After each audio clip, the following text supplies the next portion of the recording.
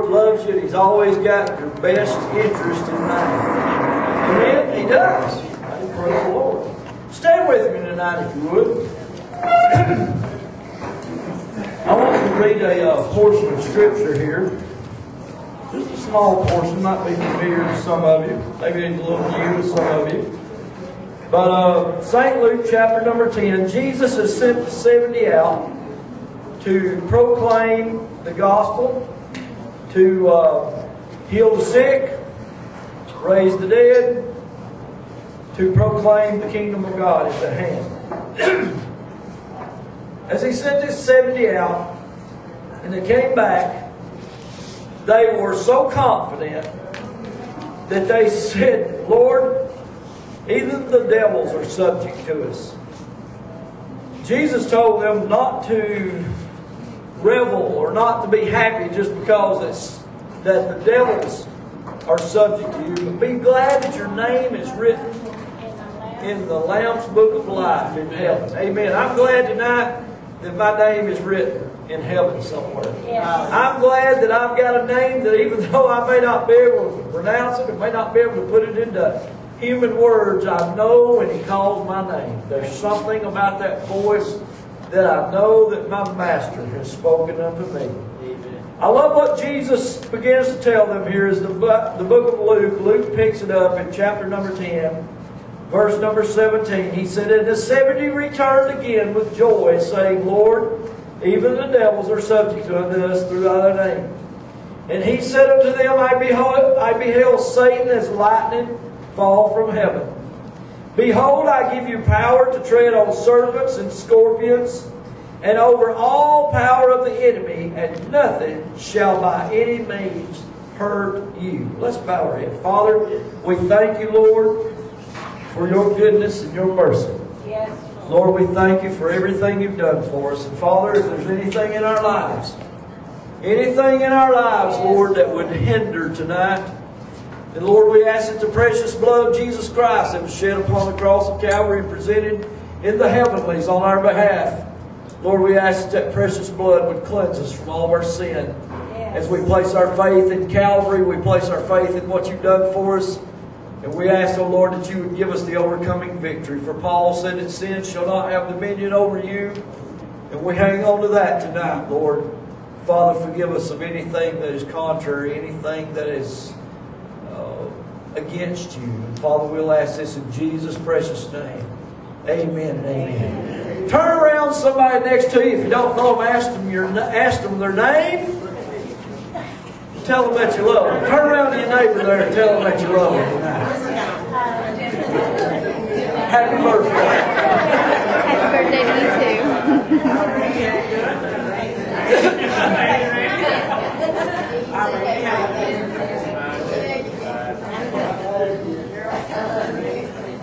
Well, they say that if you don't know somebody, you need to ask them their name. And I'm sure that we got a lot of folks that's been coming here. I got to be honest, there's people that come here that's been coming for a long time, and I still don't know their name. And uh, that's that's that's sad because most of the time I remember names real well. Amen.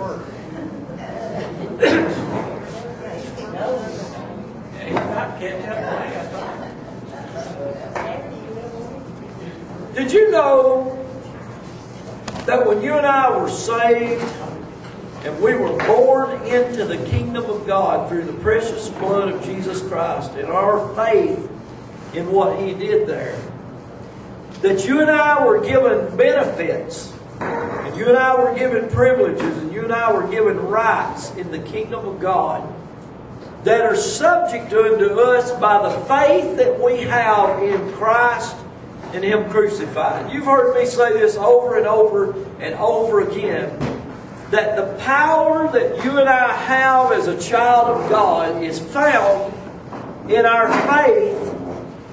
And our faith, not just our belief in being able to go forward and to do something, but our faith has to be placed rightly in the Christ and what He did on the cross for you and I.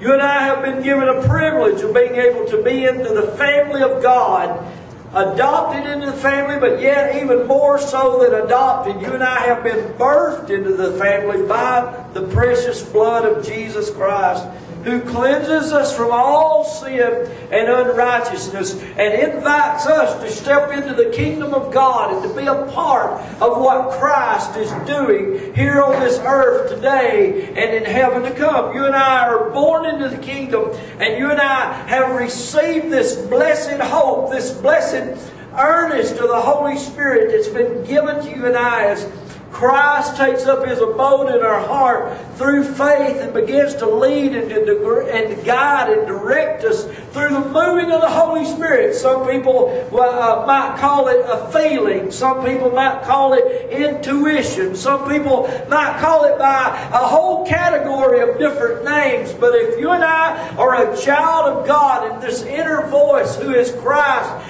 begins to speak to us and lead and guide us. Now I tell you, some people say, well, I don't know what is God and what is not God. Well, let me tell you, God will always point you to the sacrifice that Jesus Christ provided Amen. for you and I on the cross. When my babies got sick, and she's not a baby anymore. She's still my baby, but they're not babies anymore in, in, a, in a mature way. But when my babies got sick, we purposely went to Christ and what He did on the cross, and we said, Lord, if you could save us from a devil's hell, if you could save us from the, the lake of fire, then Father, we believe in what Christ did on that cross of Calvary, that that, that that power that you did there on the cross that saved us, that same power can heal my child from a fever that I don't even understand why this child is sick. I hear these requests all the time. I, I get emails and texts. Please pray for me. Please do this for, for me. Pray for me that I don't understand why my child has this fever. I don't understand why we're going through these things. I don't understand why we're in between a rock and a hard place and a, and a tough place. Well, let me tell you, the enemy comes in and begins to test and begins to wear down on you. And Christ is wanting you to make a conscious a choice of choosing Christ and what He has done for you.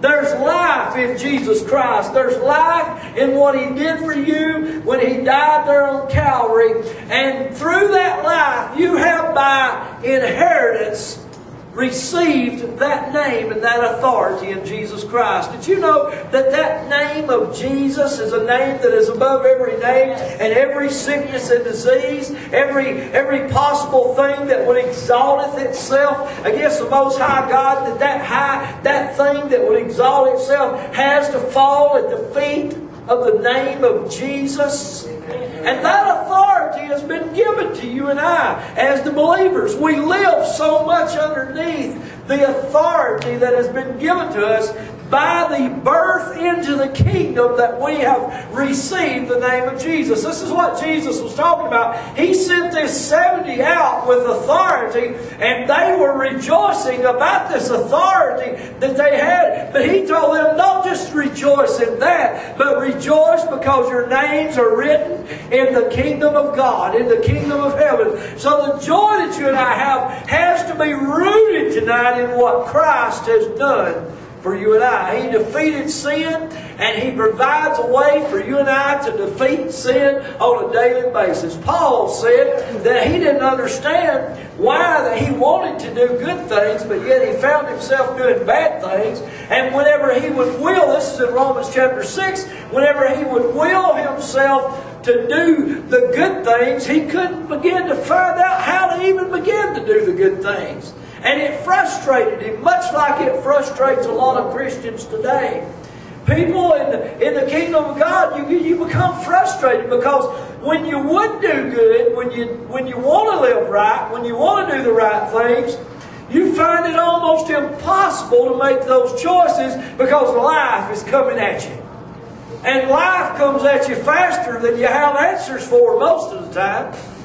And then whenever you you you wouldn't do something, or you say, Well, I would never do that, or I would never disgrace my name, or I would never bring shame on the kingdom of God. The next thing you know, you fell into a trap and you find yourself bringing a reproach on the name of Christ and upon the church and upon the kingdom of God. And I know ministers right now, minister friends of mine, that if I would have went back a year, two years ago, and I would have asked them, would you do what you're doing today? They would have said, no, not never. I never would ever do the thing like that. But yet today they find themselves in a position to where they've lost their authority. They've lost their ability to lead people. They've lost their congregation. And they found themselves falling into the sinful trap that they themselves preached against.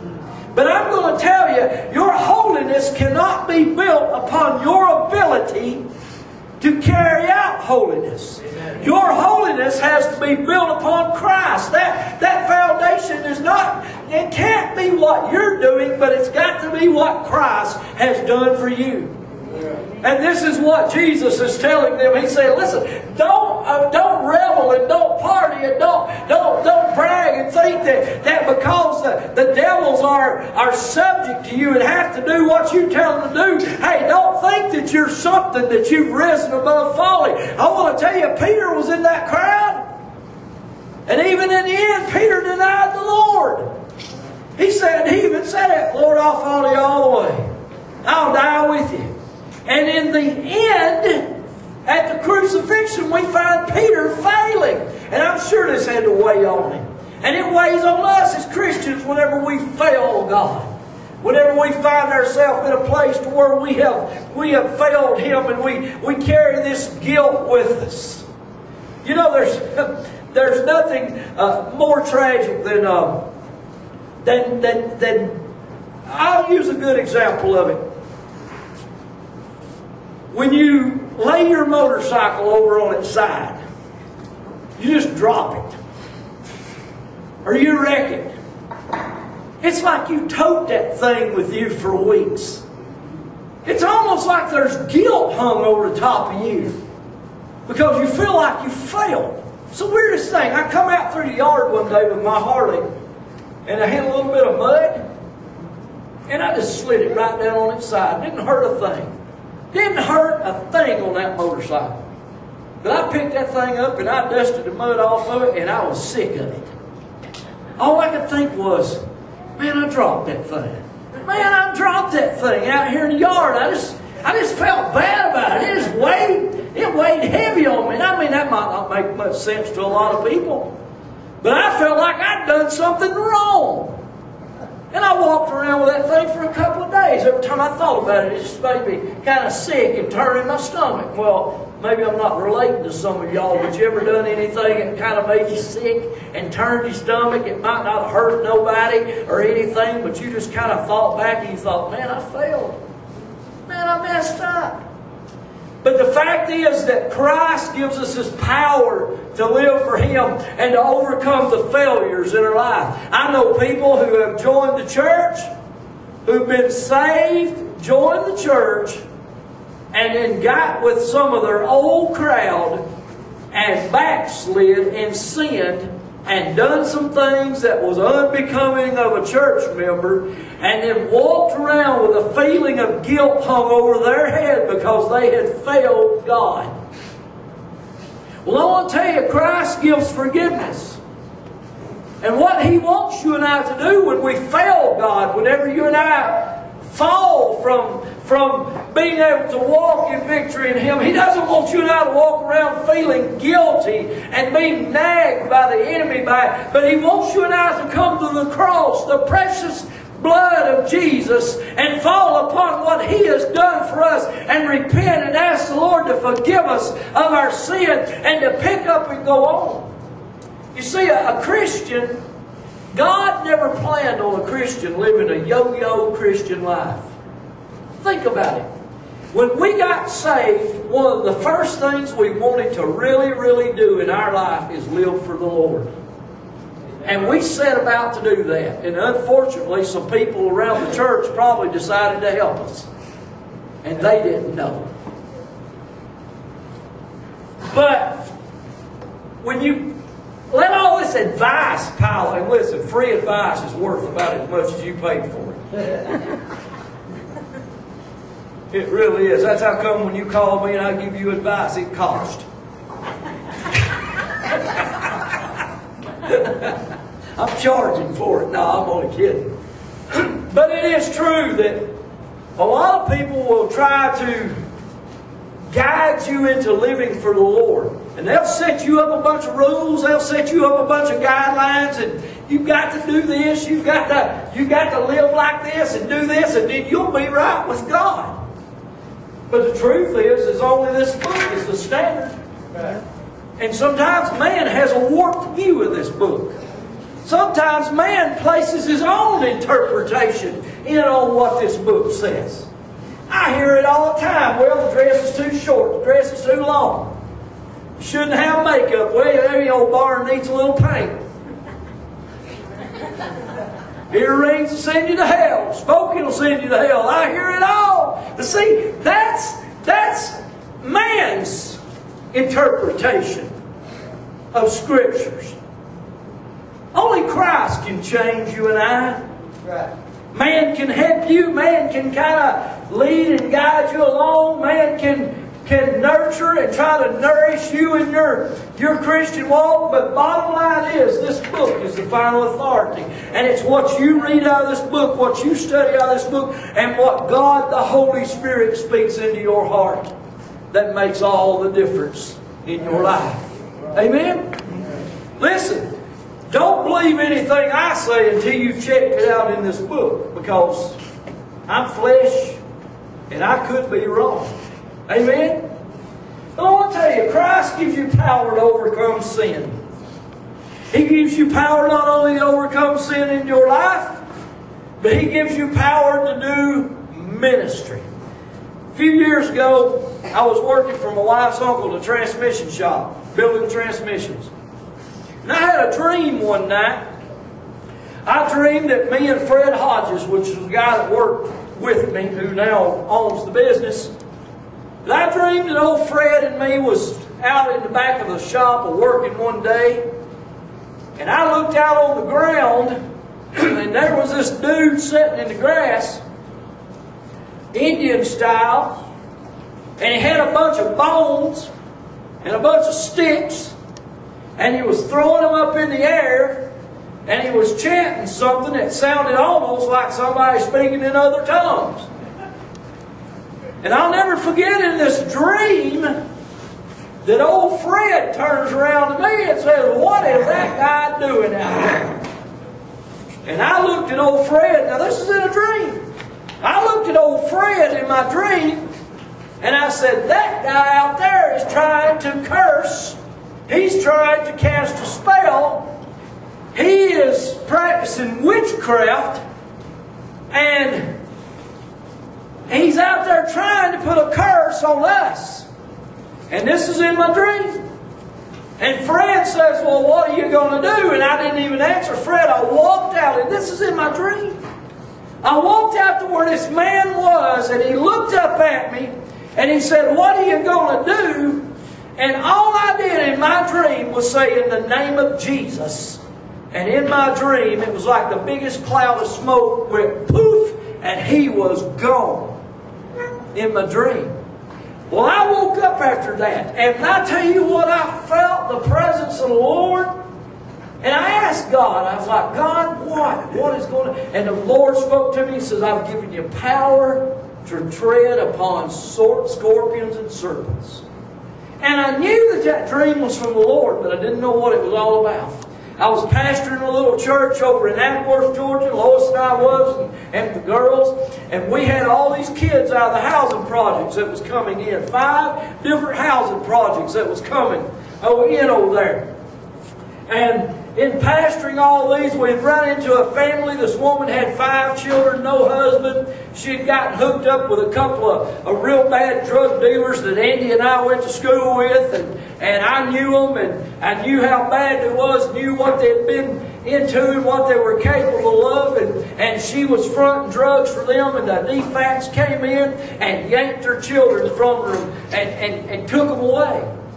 Well, the oldest girl, they, they sent her to Ohio to live with her grandmother. Her grandmother said, I, I want her. And so the oldest girl contacts me one day and says, I am in Ohio with the grandma, and I don't have no clothes, can you go get Mama and get her to get my clothes and will you box them up and ship them up here for me to have some clothes? It was getting close to wintertime.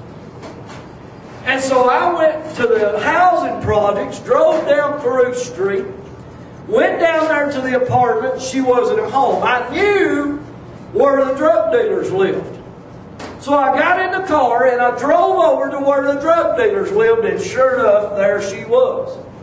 And I knocked on the door and I asked her, I said, Listen, your oldest daughter has called me and she wants her clothes. Can I get her clothes? We're going to box them up and we're going to send them to Ohio to the grandmother. She said, Yeah. So she left. She get she gets in the church van with Lois and I and the girls, and we're going out Highway 92, going to a storage facility where the clothes are stored.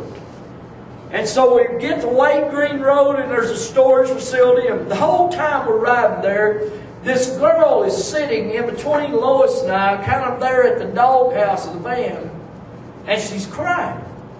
And she's saying, I've really gotten hooked on some bad stuff, and I'm in with some bad people, and I'm afraid and I fear for my life. And I'm thinking, well, honey, I know these guys. I grew up with these guys. And yeah, you are. You're in with some bad people.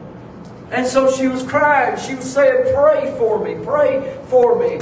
And I'm listening to all this. I'm listening to this person that's in between a rock and a hard place. A, a, a person who, who said that at one time they walked with God, but they had gotten away from the Lord and they had went off into sin and they lost everything they had. They'd been kicked out of the housing projects because of the association with the, the drug people and, and the children were gone because DFACS came in and, and yanked all the children away from her. And now she was dribbling along with these drug people because they were able to support her. And so she was fronting the drugs for them. So she was in this bad place. We're riding in over there and we go to these mini storage warehouse. We pull in. We're back there. We're pulling clothes out. We're putting them in a box. And it was like, you know, it was that perfect moment of opportunity that Lois and me and Tristan and Katie was all there in the church van with this woman. And we were outside, and I just looked at her and, and I asked, I said, Judy, can we pray with you? Can we just have prayer with you? Because we're out here, middle of the night, nobody around. Can we just pray with you? She said, Yeah, I, I would like that. I would like for y'all to pray with us. So Lois and I started praying for her out there in the parking lot. She started sinking. She kind of started sinking toward the ground. And when she laid out on the ground, there was this voice that came out of this woman. you have never heard a voice like that in all of your life. As these demonic spirits that was in this woman began to talk through this woman and talk to us. That spirit said, I'm going to kill her. I'm going to take her life from her. And this was a man's voice. There was a voice, another voice that came forth, and it almost sounded like somebody who was who was mentally off. There was three or four different voices that came out of that woman that night. Different voices as she lay there on the ground, and we began to pray over her. Well, I tell you what, I heard my daddy talk about that. I've never encountered it. I heard my daddy talk about it growing up. I heard about my grandpa encountering it. But that's the first time that I'd ever seen it in my whole life. I believe God gave me that dream about the garage to prepare me for what about what was about to happen. We should always pay attention to what's going on around our life. Lois and I started praying over her, and these voices started manifesting and coming out of this lady. This is America. This is not a third world country. This is America. This is Georgia where things ain't supposed to happen like that in the Bible Belt. Ain't nobody supposed to be that bad. What about that I know the one on your carport over there is the same thing, but we began to pray over Lois and I did, and these demons started speaking to us. And Lord, we got the Bible out and laid it on the ground, started quoting scripture, started doing all kinds of things. And every time that we would command a spirit to come out, she would writhe and scream just like a snake and like somebody dying. And this went on for, I don't know, 15, 20 minutes. I, I got amused, though, in the middle of all this at my daughter's because Tristan's sitting in the church van singing to the top of her lungs, I love you, Lord. I didn't want to hear it. Because she didn't want to hear what was happening out there on the pavement. And I hear Katie over there, who's about six or seven years old, going, shh, shh, I want to hear. I want to hear. So Katie, Katie was interested in it. So we began to pray for this lady, and, and these demons were manifesting and, and being cast out. And Lois was there, and I was there, and we were praying, and I saw a light go by one of the buildings. And when I looked up, it was a Cherokee County Sheriff's car.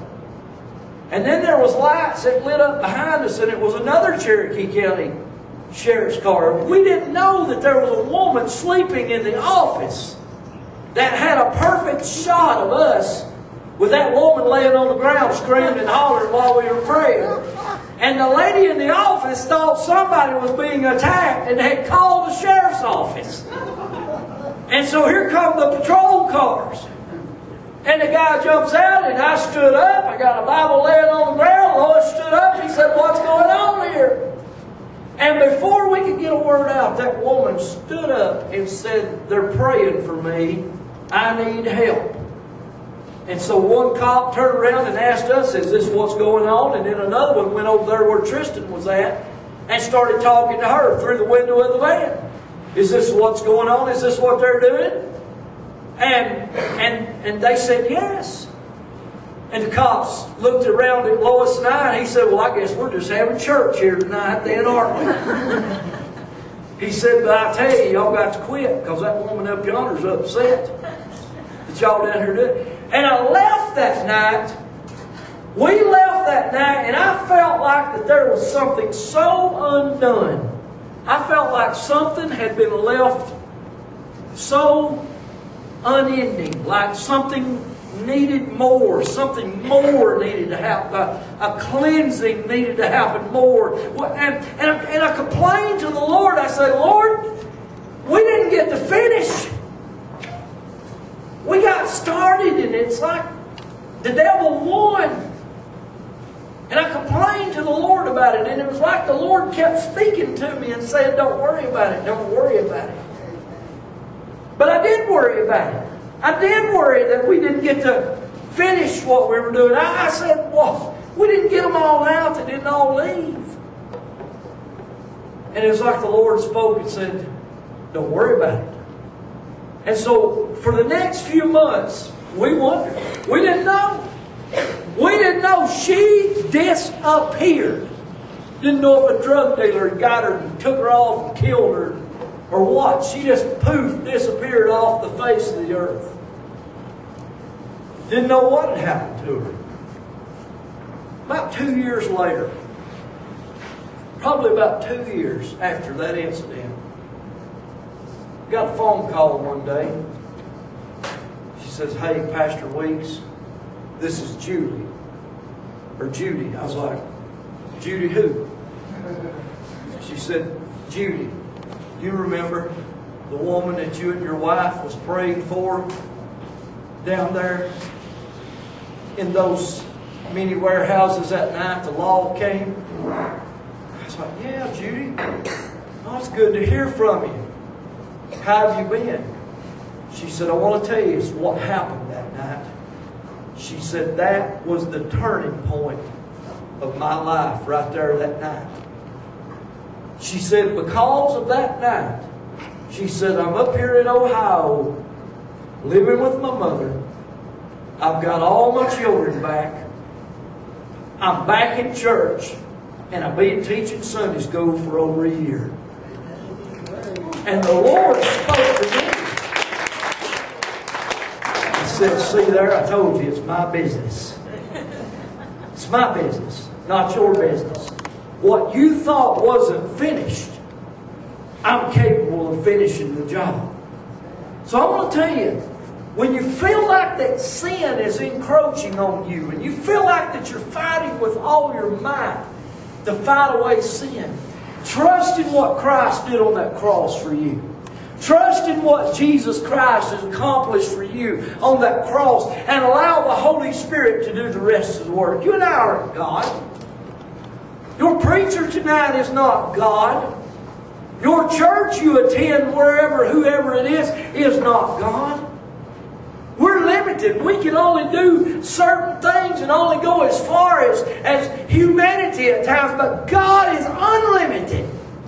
And what He did for you and I on the cross of Calvary, it's forever ongoing. When He saved me, He didn't quit saving me. He's saving me tonight. He'll be saving me tomorrow. He's leading and He's guiding. This is why the writer could say the steps of a good man or the steps of a good woman are ordered of the Lord. There's a reason you're here tonight. You're here in this place tonight. Well, not only did you eat some good squash casserole that Andy Ames made, you ever made them cornbreads down there on the end. Whoever made that coleslaw, I'll be talking to you later on find out who it was. But you're here tonight for a purpose. You're here tonight because God loves you. And God wanted you to hear this. And I tell you, you know, I could go on with story after story after story of the things that I have seen the Lord do. We had a lady, same thing, in, over there in the carport one night years ago. Same exact, same situation, same thing went on. We had a lady come to our house. I tell you, the Lord, the Lord has given the believer.